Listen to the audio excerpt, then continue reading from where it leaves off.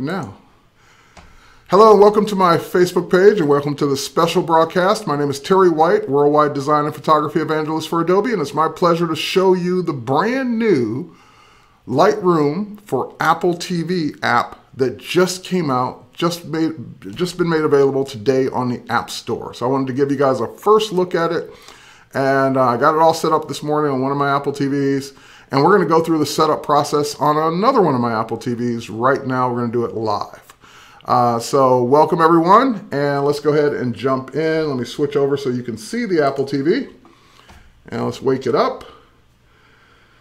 And now you should be able to see the Apple TV, and this is uh, nothing special. It's just a regular fourth generation Apple TV, but you'll be able to, um, on your fourth generation Apple TV, you'll be able to now go to the App Store, which is that third icon uh, next to movies and TV shows, and you'll be able to uh, download the app yourself. So we're going to do that. I've got my Apple TV remote right here.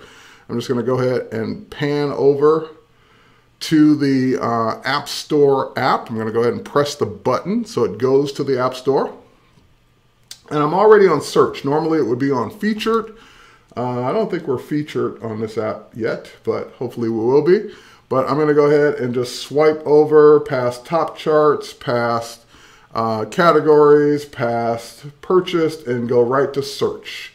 And uh, even though I could go right to my purchase list since I've already, it's free, although even though I already downloaded, uh, I'm going to go ahead and just show you how to search for it. So we're going to go down to the alphabet and we're just going to start typing. Now, normally I would do this from the remote app on my uh, iPhone, but I'm going to go ahead and do it right here in front of you using the on-screen keyboard, which I absolutely don't like, but we'll do it anyway. So we'll do L-I-G-H, come on H, H, and we're almost there. Is that it? No, I don't see it. Hang on. I was hoping it popped up, but it didn't. So we got to get, come on, one more letter. T and then R, and we should see it. Oh, I did, hang on, I hate when I do a typo. I did the S instead of the R, so that's why I don't like the on-screen keyboard. I much prefer doing this on my phone. All right, but anyway, we'll go to, back to the R. There's the R. And there it is, Lightroom. All right, so I'll switch down to it, uh, choose it,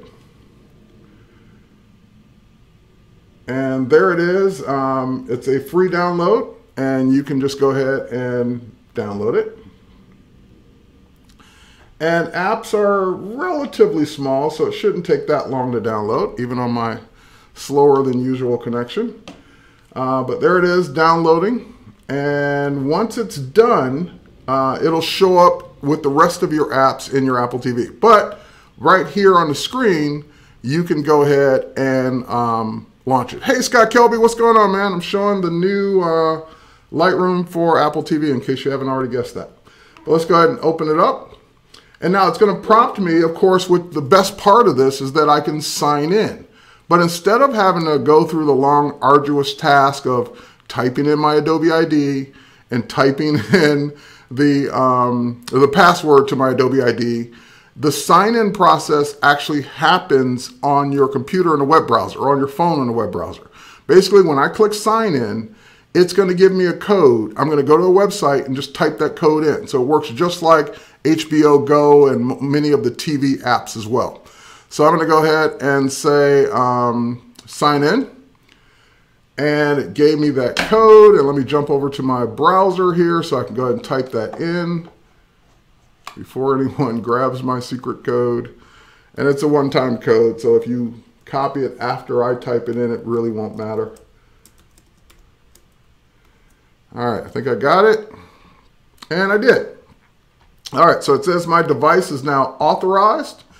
And as soon as I go back, or just click OK, as you can see, it's now loading my, um, my galleries, my collections. So those are my collections that I've synced with Lightroom on the desktop or Lightroom on my iPhone or Lightroom on my iPad. And now I have access to uh, my photos here on Apple TV.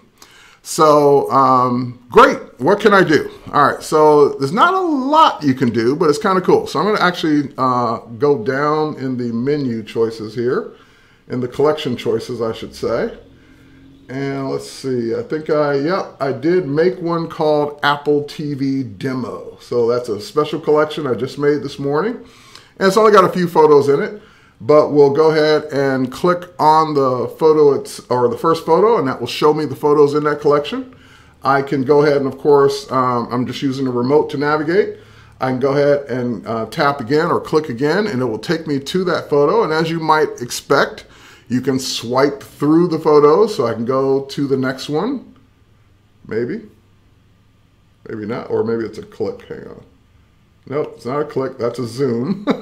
it should swipe. There we go. Swiping takes you back and forth between them. And um, now the cool thing is uh, Apple TV has a lot, a lot of the apps have a secret menu or set of options at the top and the way you get to that in, in, in Lightroom, Lightroom for Apple TV actually takes advantage of it too. If you swipe down, um, then that will give you your film strip. So if you wanted to jump to a specific feat or specific picture in your film strip or in that collection, you can do it right there and then click or um, press the remote and it will take you to that photo. So the, um, yes, I'm clicking the remote. I have the remote right here. So the obvious uh, advantage to having Lightroom as an app on my Apple TV is I don't have to put pictures on my Apple TV to show them. If I just sync them as a regular collection uh, in Lightroom Mobile and just launch the app, that collection's there and I can go ahead and show it. Now, uh, let me get out of this for a minute. Let me bounce back. I'm to get out of this collection. Go back one more time uh, with the remote. And um, I'm going to go up. And you'll notice the menus at the top. There's collections, all photos, and settings. So collections and all photos, pretty self-explanatory. Collections shows me the collections I've synced. All photos shows me all the photos, whether, you know, no matter what collection they're in. But if I go over to settings, uh, there's not a lot of settings that you can deal with. But there is a setting, I saw something for slide duration. And let me go back now to the collections. And once I saw that, I was like, oh, well, you know, yeah, I guess there would be a slideshow feature. That would kind of make sense for, um, for, you know, to be able to show pictures on an Apple TV. And I was like, well, how does the slideshow work? So I stumbled around for a few seconds here until I found it. So here, let me uh, scroll back down. Uh, let's see, where am I? Okay, we'll go back to the same collection we're in, or we were in, and I was like, well, how do I start a slideshow? So I'm pressing, I'm looking for a button, I'm holding down. Uh, uh, are you able to do this with numerous Lightroom catalogs? The answer, Charles, is no. Lightroom for mobile has always only worked with one catalog, and I'm pretty much recommending for most people that I have been for a couple years now it's probably time to go to one catalog, at least for the bulk of your work. Uh, but anyway, I was looking around for the, where's the button, the, the little play button on the slideshow, or the, or do I hold it down on a picture and I get a menu, or how does that work? And then I realized there's a play button right there on the remote. And sure enough, if you want to start a slideshow, just press play whatever collection you're in, and I'm not doing anything now, it's actually advancing the slides automatically with that uh, slow, fast, medium, or, or me fast, medium, slow speed. So you can uh, just simply start the slideshow with the play button.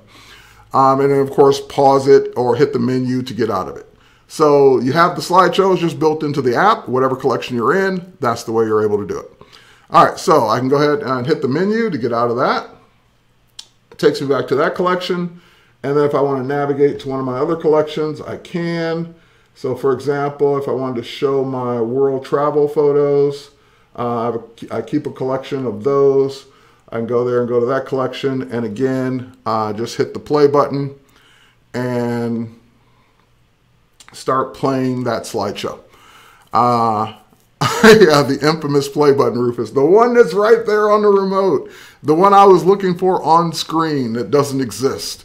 because it's in your hand. Just hit play when you want to see, see the slides. Uh, so this is going to be very cool. I like having to, um, hey Brandon, what's going on, man? Uh, glad to see so many of my friends in here as well. Uh, but it's very cool to just now have this as a part of my regular TVs around the home.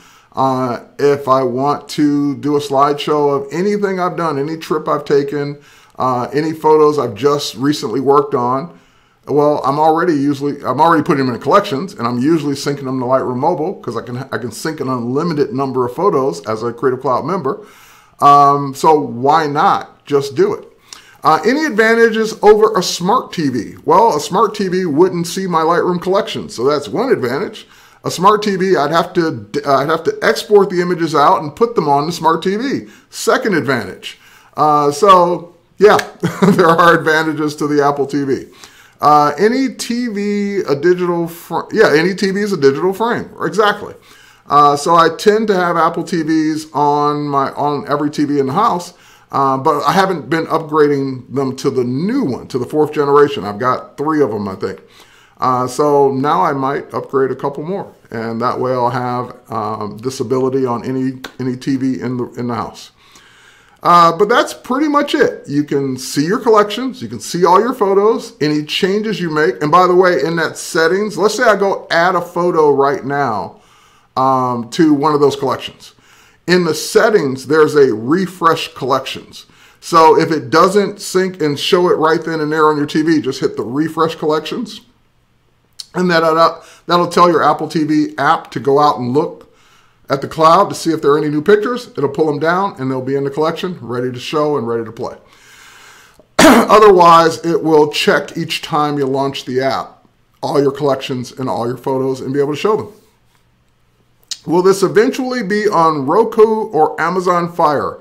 I have no idea what the Lightroom team's future plans are for future apps. And even if I knew, I couldn't tell you. Uh, came in late, only on the newer Apple TV. Yours is three years old. Yeah, it's only on the newer Apple TV because only the newer Apple TV has apps. Uh, your third generation, second generation, first generation Apple TV doesn't have an app store. So there's no way to get this on uh, the other Apple TV. Now, you could still do it the old fashioned way. If you've got Lightroom for mobile on your iPhone or iPad, you could always AirPlay it to your older Apple TV, but then you'd just be AirPlaying just like you AirPlay anything else. Um, but if you want to actually have the app, then you need a fourth generation Apple TV to have the app. And I would say if you're on one that's uh, how many years old did you say? Three plus years old, you're due for an upgrade. Uh, the new one is faster, has an app store, can download more content and save it because the, the drive in it is bigger. It's just better all the way around. Uh, that's why, like I said, when it first came out, I upgraded one immediately, then I upgraded a second one, then I upgraded a third one. I've got a couple more laying around that I'll probably upgrade now that I've got this app uh, as the ability to show my photos whenever I want uh, on Apple TV. Uh, can you set, uh, here, let me see what your comment is. I saw someone say, can you set the slideshow to music? You know, that would make a lot of sense, um, but not built into the app. Now, I don't see why there would be anything stopping you from playing music first. So, in other words, set the Apple TV to play whatever songs you want from any of your apps and then start the slideshow. But right now, it doesn't have the ability to pick music and start playing the music built into the app. That would be cool because no one really likes to look at photos in silence. Um, play your jams there. All right, well, Scott, uh, I don't have a license to play my jams over a stream like this, and therefore it would not um, work out well. Does it work on Android? Um, Lightroom for mobile works on Android, but not this particular app for Apple TV? Good question, though, Scott. Alexa, play. Yeah, no, that would be cool. But Siri play is close enough. All right, any other questions? I'll hang out for a couple more minutes on questions on Lightroom for Apple TV. This is pretty much it. For those of you who just got here or came into the recording late, uh, I'm running the fourth generation Apple TV, uh, which I need to get out of the slideshow if it'll let me. Oh no, it's stuck. Oh, I'm looking at the delay. You guys are just like stopped over here. Uh, so anyway, yeah, fourth generation Apple TV. I've got all my collections that I care about synced to my Apple TV. So I think I got like six or eight thousand photos synced up or synced to Lightroom, which are now available on any of my Apple TVs in the house uh, just by downloading the free Lightroom for Apple TV app for your fourth generation app or fourth, fourth generation Apple TV. Short and sweet. I know, Rufus, that's the way streams should be. Wink, wink. All right. Um, does it work with Linux? Yes. Uh, there's a special version of Linux you need to download from the Linux Apple TV store. And then once you get that, it'll work just fine. All right. You have it up and running. Awesome. All right. It's been fun hanging out with you here on Facebook. I got to get back to work, even though this is work, but I got to get back to other work. Thanks, guys. I appreciate you being here, and thanks for taking a first look at the new Lightroom app for Apple TV. I hope you liked the way I presented it, the way I showed it. And again, it's available here. If we get out of the app itself, um, it's available on the App Store for Apple TV. And unfortunately, there's no other way to go look at it. If you don't have a fourth generation Apple TV, there's no way to look at apps for Apple TV unless you're on the TV. So I had to keep refreshing the App Store on my TV, knowing that this was going to be launched today, um, to see if it had actually been launched yet. And once it's once it was there, I was like, "Oh, cool! Download and open and sign in, and boom, there are all my pictures." So awesome. All right, guys, with that said, take care. Go download the Lightroom for Apple TV, or if you don't have a fourth generation Apple TV, time to boost the economy and go buy some. Uh, they're relatively low price, um, and they're extremely low price for what you get. All right, so take care. Thanks for watching. We'll catch you on the next one.